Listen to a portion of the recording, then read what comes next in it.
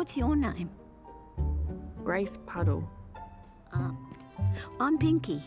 Just Pinky. Like Cher. Or Liberace. Or Prince. Casanova. Popeye. People call me Pinky because of this. Lost it dancing in Barcelona.